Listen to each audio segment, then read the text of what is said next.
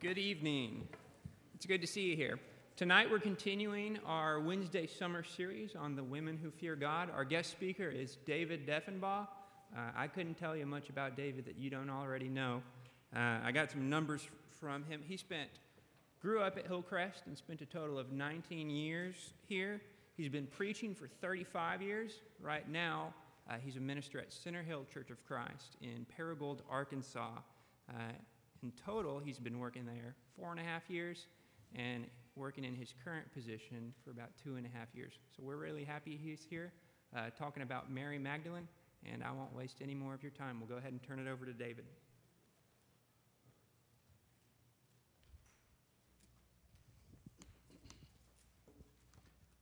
Thank you, Caleb. I feel a rather heightened sense of privilege to be in this place and to speak on this occasion about a woman who feared God, whose name was Mary. Now, in, in Caleb's correspondence with me, and I know with other speakers in this series, he's indicated that the the underpinning, the basis for this series comes from Proverbs chapter 31 and verse 30. Charm is deceitful, and beauty is vain, but a woman who fears the Lord is to be praised. And so we too ascribe praise to all women who fear the Lord. We know very unfortunately that we live in a culture and in a time when many women have achieved a level of name recognition for a wide variety of reasons. many of them for their beauty, and unfortunately for their willingness to display that in ways that are less than appropriate. But others for their talents and their skills for their notoriety derived from wealth and achievement and positions of power, and oftentimes behaviors that capture the attention and eyes of this rather lurid culture that we live in. But other women have gained name recognition with the sovereign Lord, creator of heaven and earth holy, and righteous. And every one of these are women who fear the Lord. These women, God praises. And these women, God calls upon every one of us to praise as well. And one such woman who fits that category is the woman that is under consideration this evening, whose name is Mary. Now, I noticed on your schedule, this is the third week in a row that you have considered at least one woman named Mary. And so, some measure of distinction is necessary for us tonight. We have a variety of ways, even in our culture and our time, that we will make distinctions of people who have the same name. Now, for us, we usually just use a last name. And uh, that works most of the time. It worked in our family marvelously until our, our son Dalton married a sweet girl named Mary. So you've got two Mary Deffenbaughs. Not a big problem until it comes to Christmas time, and then you've got to start designating. Do you go Big Mary, Little Mary? Ooh, that's a little dicey. Uh, how about Old Mary, Young Mary? That one's not too good either. So you work those kind of things out. The way they did this in biblical times was there was a variety of ways, and one of the ways they would do that would be to would be to identify the person by their parent. And so that's why you run across so many names in the New Testament that start with Bar. Bar Jonah, Bartholomew, Bartimaeus. That bar means the son of. Now, having spent some time in Eastern Europe uh, over a number of years, I, I have a friend there Well, she no longer lives there, and, and her name was Yelena. Now, we anglicized that to Helen, but her peers, her fellow countrymen, knew her as uh, Yelena Mikhailovna. That is, Helen, the daughter of Michael. So, you know, what Caleb could have done tonight was had been to have introduced me as David Donaldovich, David the son of Donald. But that, that wouldn't have meant much of anything to anybody, I don't think. But that's one of the ways they did it in the Bible the son of. Or sometimes they would do it by where you were from, your hometown. Now, the most famous example of that in Scripture, or maybe we should say infamous example of that in Scripture, is a fellow by the name of Judas. Several Judases in Scripture, but only one of them hailed from the village of Kerioth. Or to shorten that, it was Judas Iscariot. And so it is with our woman tonight, our Mary tonight. She is known for the town from which she hailed. The Galilean coastal community of Magdala, Mary of Magdala, or as we know her, Mary Magdalene. Now,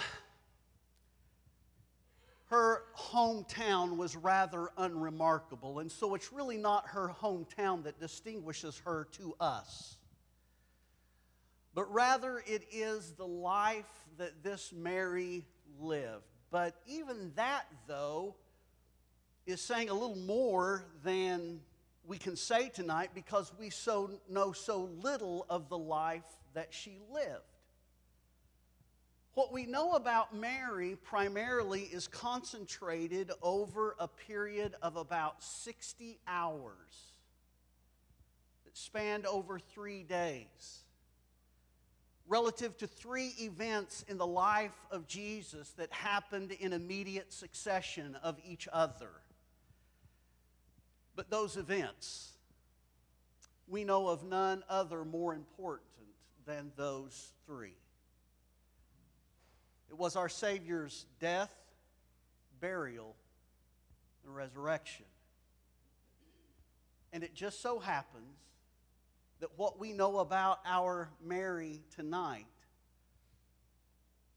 all happen in regard to those same three events. Or you can think about it like this the brightest light of Scripture is shined upon that portion of Jesus' life. Everything before, even all the way back into the Old Testament, everything before points to and everything after flows from.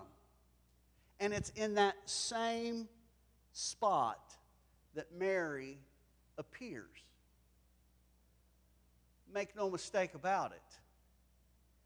God has every intention that you and I see this woman.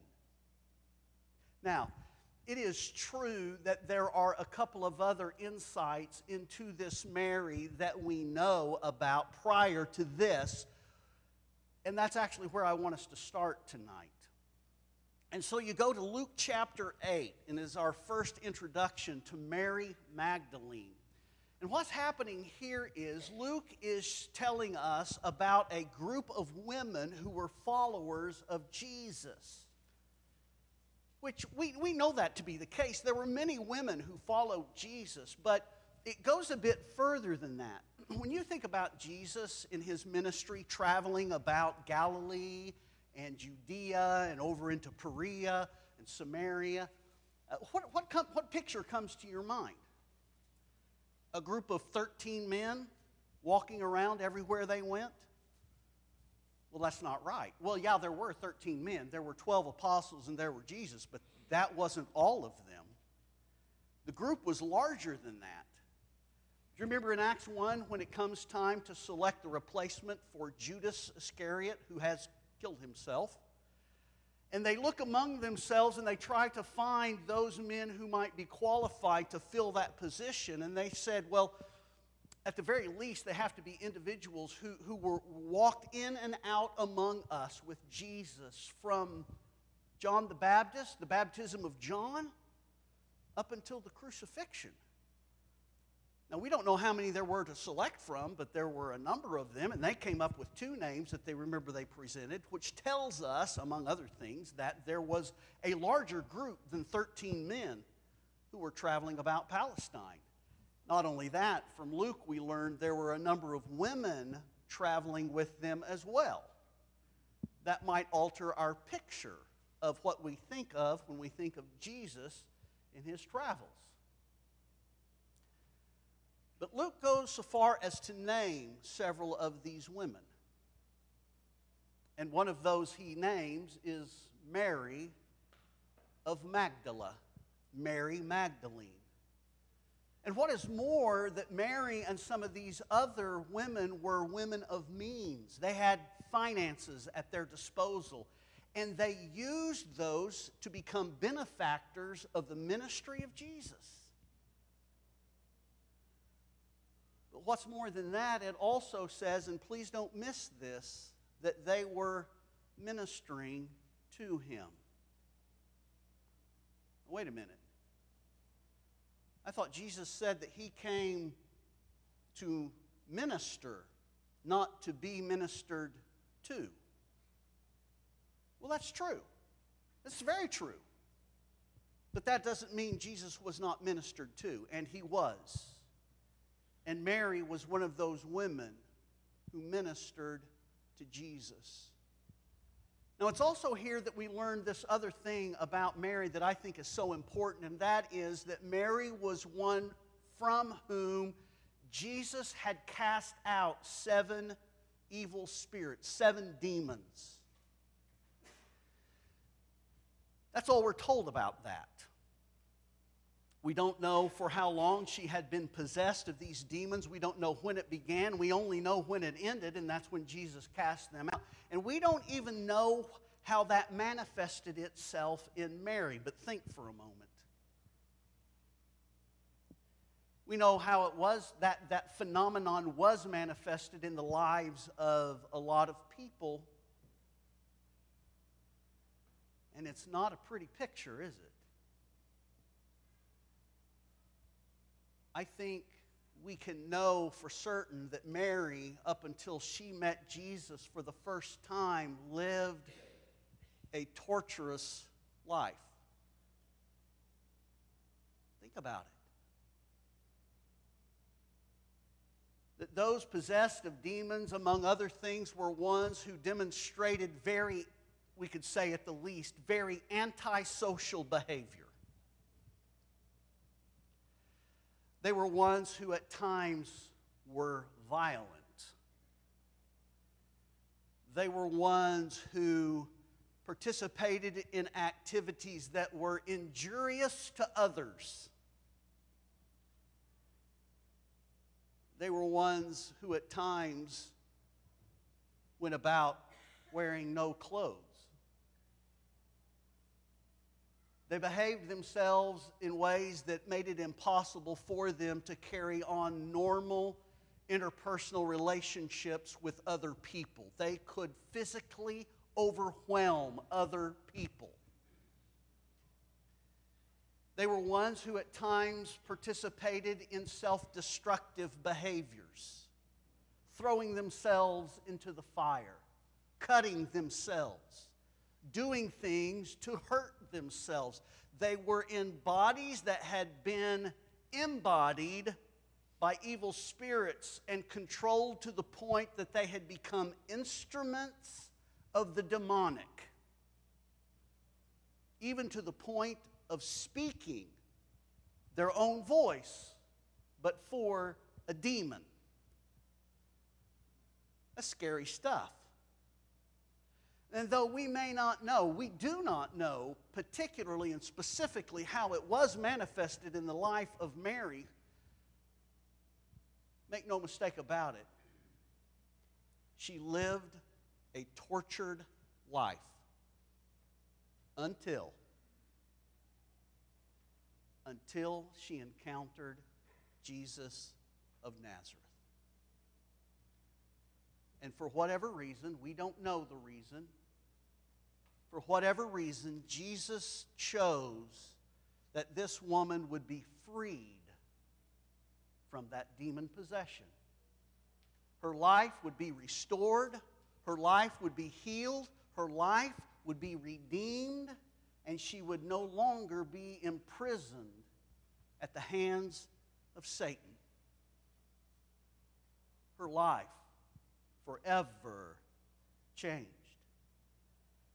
And not just because Jesus cast those demons out of her, but because of how she chose to respond to that. And that was that for the rest of her life, she would fully and completely devote herself to ministering to her new master, her Lord Jesus. So it is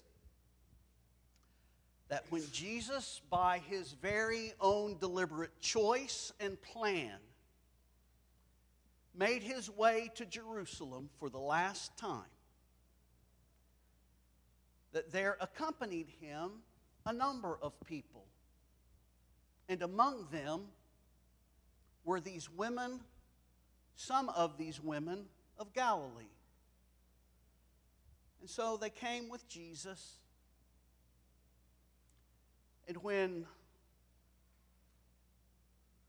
everything played out that was to play out, that Jesus knew was going to happen ahead of time to him at Jerusalem.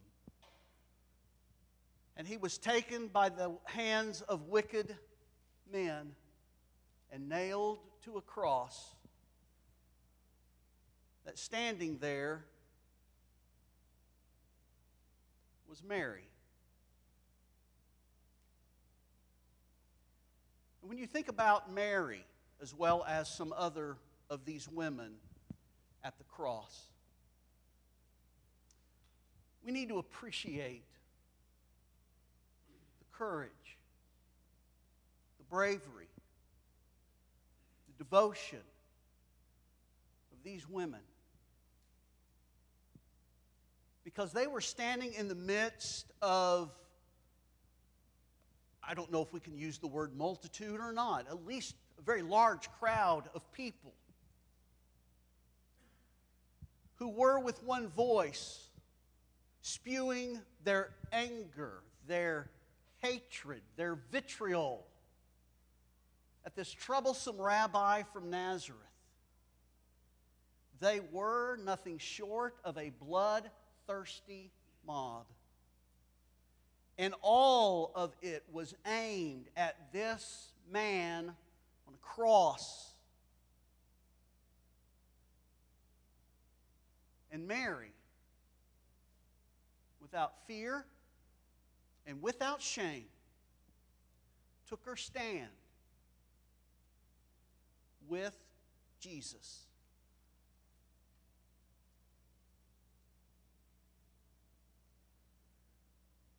And her standing there with these other women is also notable not only for that, but it is also notable for who was not there.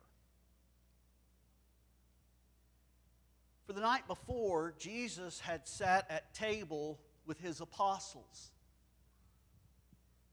And though they professed their devotion to Jesus, Jesus knew better.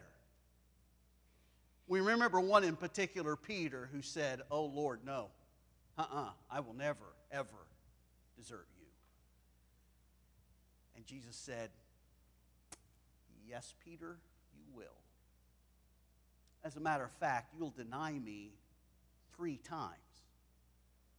But to the others, he also said in John 16 32, You will scatter, and you will leave me all alone.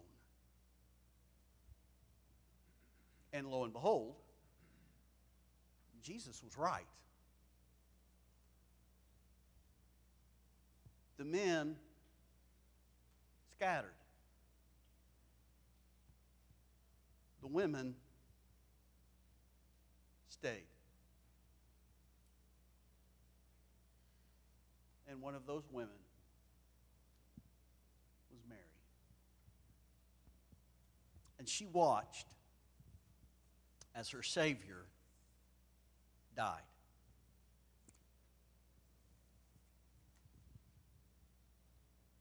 Just as Scripture draws our attention not just to the death of Jesus, but also his burial.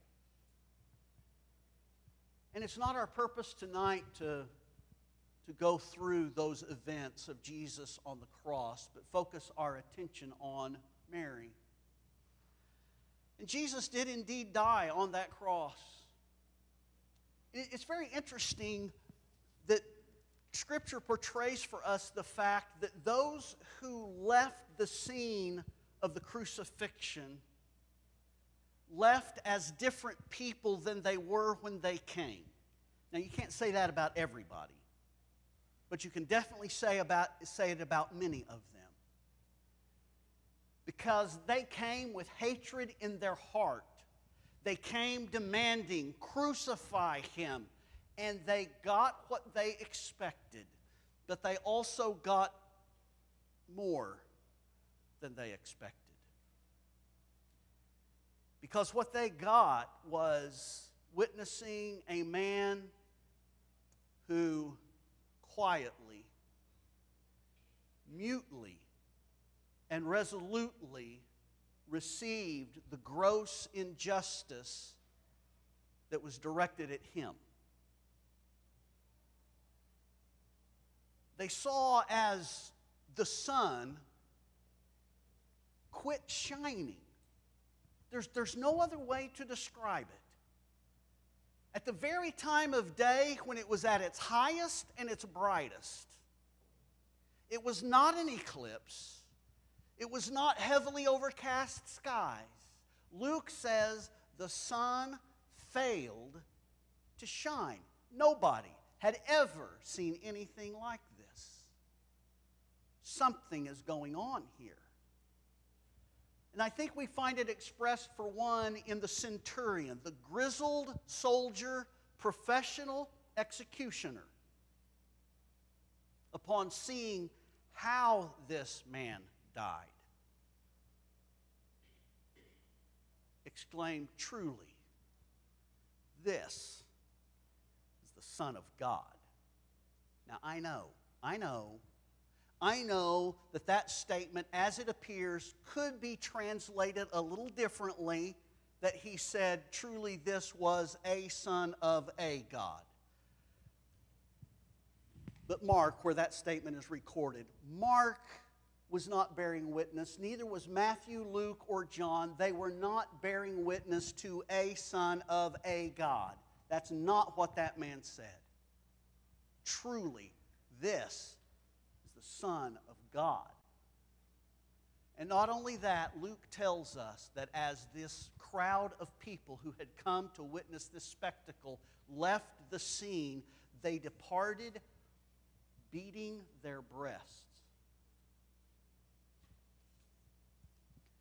Albert Barnes says that this is a token of alarm and fear and anguish. What has just happened here? And it's these same people, seven weeks later, who would have been in Jerusalem and heard Peter and the other apostles stand and proclaim this Jesus whom you have crucified. God has made him both Lord Christ. Their hearts were cut on that day, and they were being prepared on this day. Something changed dramatically for them, but it didn't change for Mary. Because Mary came to stand with Jesus. She came to minister to Jesus. She came in support of Jesus. And what she did in his life, she was going to continue to do in his death.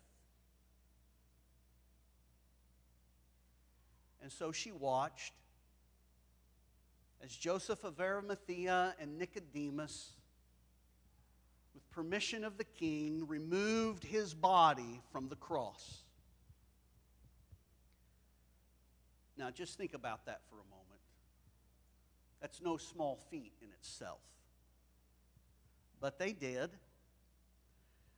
It's very possible that Mary and the other woman who watched with her this removal of Christ and, and his being prepared for burial may have had some suspicion, I don't know, of these two men because they are identified as being secret disciples. Mary was anything but a secret disciple. But nevertheless, they watched.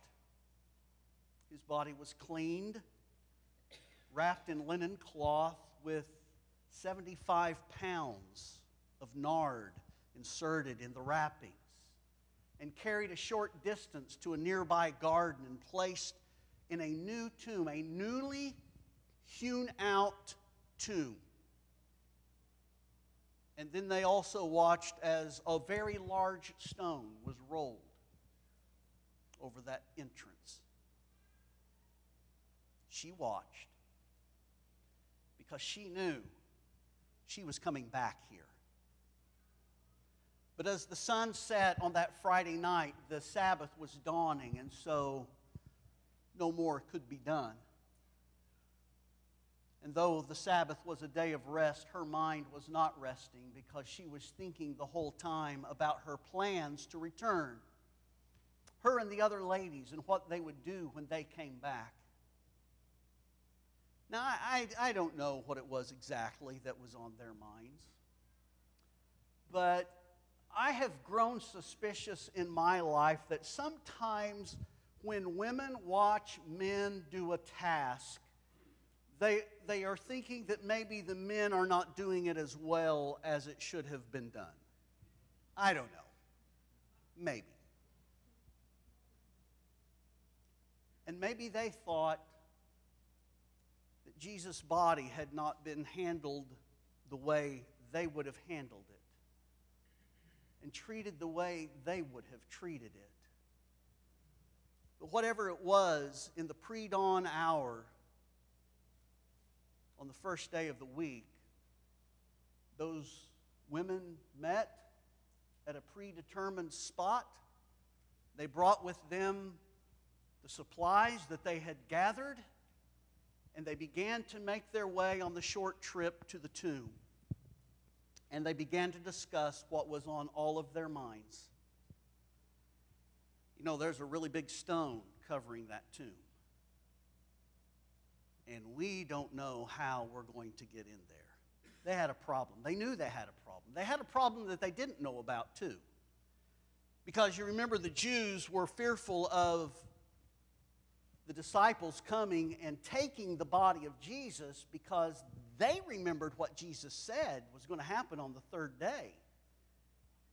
And they didn't want them pulling any shenanigans here. So there was a guard set, and the tomb was sealed. Now, these women had no way of knowing that. They had no way of knowing that there had been official measures taken to prevent the very thing that they wanted to do, and that was to get their hands on the body of Jesus. But when they arrive, it's not anything like they anticipated it would be. Because when they got there, the stone was gone. It was rolled away. The tomb was open. And there was what the text says a young man was standing there. And he told the, the women that the tomb is empty. He is not here, he has risen. Go tell the disciples. And so, these women are charged as the first evangelists. You know, an evangelist is a proclaimer of good news. And they've been given the good news that the tomb is empty, that he is risen. And they are the first to be given that message to deliver to others, and so they do. Now, I have to confess, it has to be confessed that tracing the steps of Mary on this day is challenging. Because she is going to wind up back at the tomb by herself. And she's standing there weeping. And she is trying to figure out in her own mind how to make sense of what she has been told and what she sees that the body of Jesus is gone. And she's doing the best she can with that. And as she is weeping, she stoops to look into the tomb, and there she sees two angels. Woman, why are you weeping? She says, They have taken away my Lord, and I do not know where they have laid him. Now, she's already been told that he's risen, but she's not quite sure what to make of that, obviously. And she's making the best sense of this that she can. And in her mind, it must be that they've just moved the body of Jesus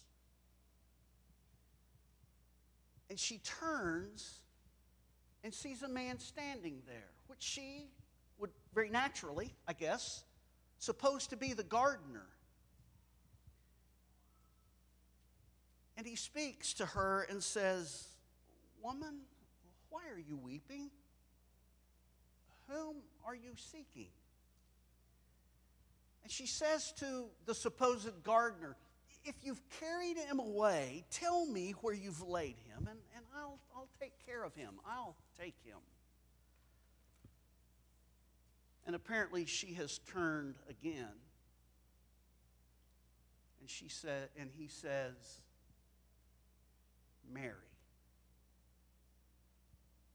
And it is a moment of recognition. And she suddenly turns again and cries out, Teacher! Only she spoke in the Aramaic.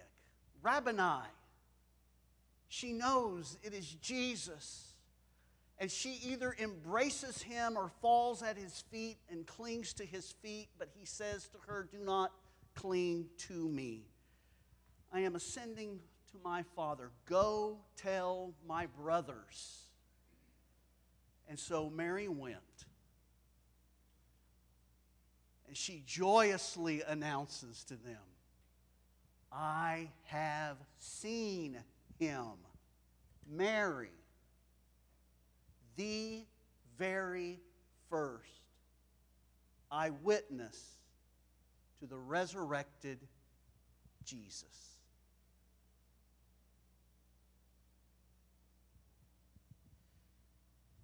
This woman, this woman chosen by God with the singular honor of being the first.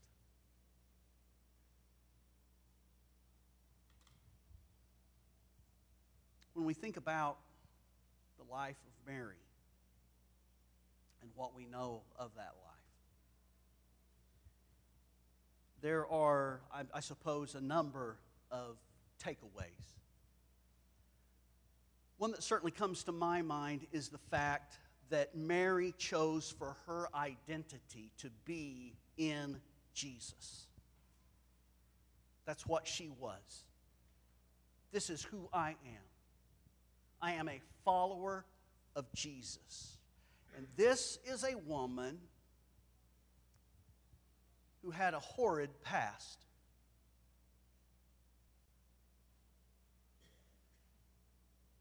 This is a woman who had suffered greatly, unfairly, unjustly. But she chose that her identity would be her new life in Christ.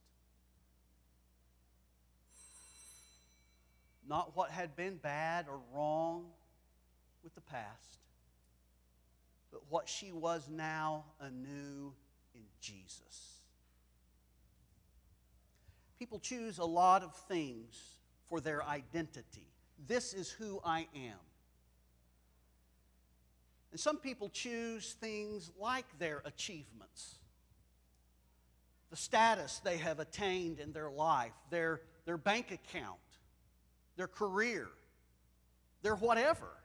This is who I am.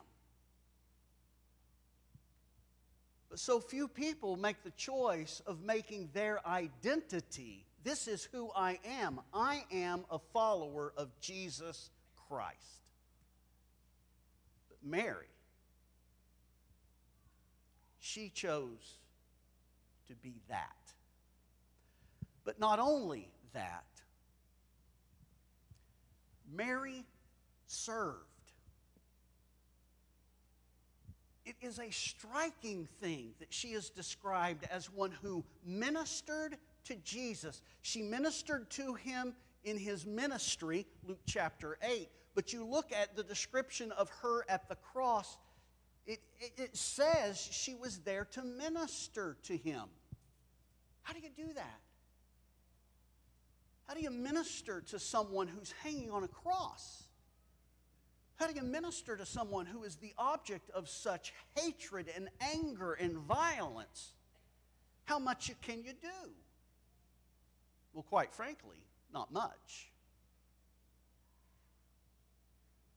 But she did what she could.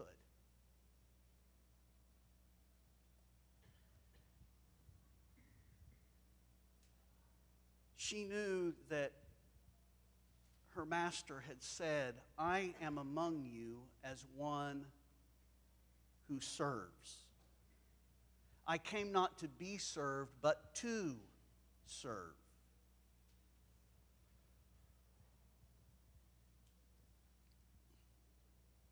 The Bible talks about our being formed. It talks about how we can be formed by the Word. What is the influence that actually shapes you and forms you into what you are? And our world forms people, it shapes people, it makes people into something. And what our world is making people into are ones who expect to be served. I want what I want. I want it the way I want it. And I want it when I want it. And that when, by the way, is right now. And our world's pretty effective of making those kinds of people. But scripture also talks about those who are not to use the words of Paul from Romans 12, conformed to the world, but rather transformed. That I am formed by Christ. And you know what those being formed by Christ are? They are servants. I am among you as one who serves. And yet we know, we know many times when people walk in those doors, not just those doors, but the doors of any church, anywhere, are there with the spirit and the attitude that has been formed by the world that has saying, okay, so what do you have to offer me? What can you do for me? How can you serve me?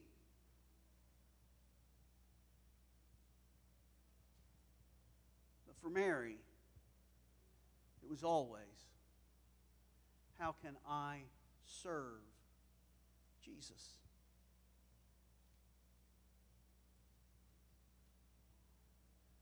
Mary is one upon whom God intends for us to cast our eyes. Because the record that He chose to be places her or makes her visible to us at the times when Scripture's light is shining the brightest. And there she is, Mary of Magdalene.